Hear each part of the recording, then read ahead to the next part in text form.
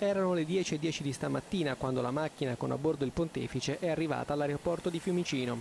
Ma nel cuore di Francesco il viaggio, il decimo e più lungo del suo pontificato, è iniziato già ieri sera, quando segretamente si è recato alla Basilica di Santa Maria Maggiore per pregare davanti all'icona della Salus Populi Romani.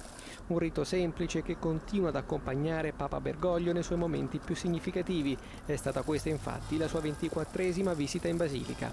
Ma prima di uscire da casa Santa Marta, Francesco ha voluto salutare la famiglia di rifugiati siriani che ha trovato ospitalità in Vaticano, un altro incontro intimo e riservato. E poi finalmente eccolo salire la scaletta con alla mano la borsa che abbiamo imparato a conoscere. Dentro probabilmente ci sarà il biglietto intestato a Sua Santità Francesco, che lo accompagnerà in questi primi giorni negli spostamenti cubani. Una volta preso posto, alle 10.32 il volo è decollato alla volta dell'isola caraibica, dove cresce l'attesa per l'arrivo del pellegrino della misericordia. L'umore di un popolo è racchiuso nelle parole della quindicenne Yanara. Sono davvero molto emozionata e penso che potrà aiutare noi giovani per il nostro futuro a migliorare come esseri umani e a crescere come cristiani. Non sarà solo però la speranza dei fedeli ad animare queste giornate fino a martedì 22 a Cuba e quindi fino a domenica 27 negli Stati Uniti, dove il Papa parlerà al Congresso, all'incontro mondiale delle famiglie e all'Assemblea dell'ONU.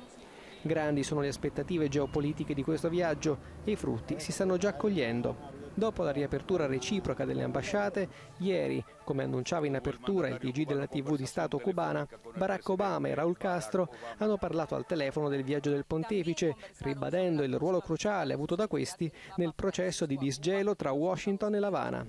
Il prossimo passo, il più atteso, è la fine dell'embargo economico, sul quale però dovrà pronunciarsi il Congresso americano ma già lunedì saranno riviste le regole che riguardano ad esempio il settore delle telecomunicazioni e quello commerciale. Insomma, nuovi orizzonti potrebbero essere quelli che si delineeranno dal 28 settembre.